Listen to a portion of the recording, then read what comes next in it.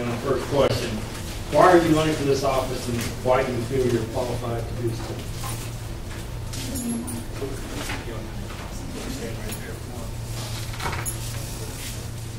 Well, as I said, I've been in management for the last 25 years in construction management, off and on. I have a state certified general contractor's license that I keep active. But when I look around and I see, just like county equipment, and I see equipment sitting in one place for two or three weeks, and I think, well, if we got enough equipment, then we, that we got this equipment sitting in one place for two or three weeks, we must have way too much equipment. I mean, that's not very responsible management. Uh, I look at, when I decided to run,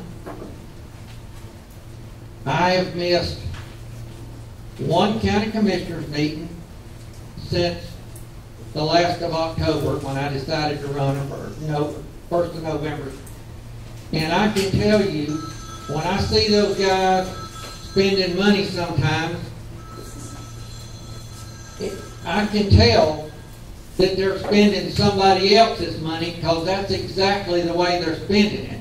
If they were spending their own money, I guarantee you they'd be a little bit more careful about how they spend it. Uh, and that's one of the one of the issues uh, that I decided that helped me make up my mind to run for county commissioner. Thank you.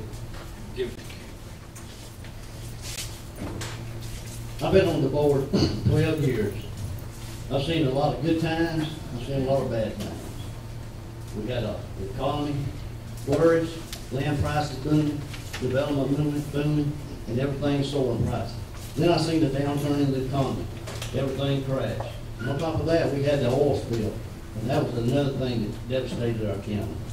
Working with the TDC, we, we put things in place where we could advertise our beaches. CNN was advertising our beaches, we had oil on the beaches, we had balls on the beach.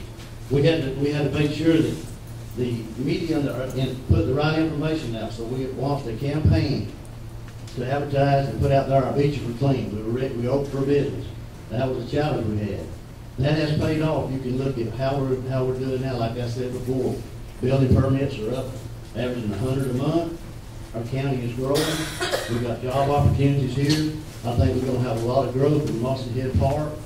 As we continue to look at issues like stormwater, we have stormwater issues all over this county, we're gonna have to deal with those issues. And they're not, they're not minor, they're gonna be expensive. Also, the three thirty-one corridor, we got to make sure we have the infrastructure in place to supply those businesses. We're gonna have to have wastewater treatment plants, we're gonna have to have water supply.